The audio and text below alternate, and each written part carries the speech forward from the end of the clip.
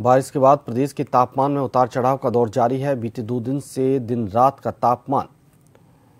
दो से तीन डिग्री तक लुढ़का है हालांकि रात का पारा अभी भी सामान्य से ऊपर बना है मंगलवार को 11 शहरों में अधिकतम तापमान 35 डिग्री सेल्सियस से नीचे रिकॉर्ड हुआ तो वहीं माउंट आबू में न्यूनतम तापमान तीन डिग्री लुढ़क कर डिग्री सेल्सियस तक आ गया तो वहीं अलवर करौली फतेहपुर सीकर और पिलानी का पारा रात को बीस डिग्री से नीचे रहा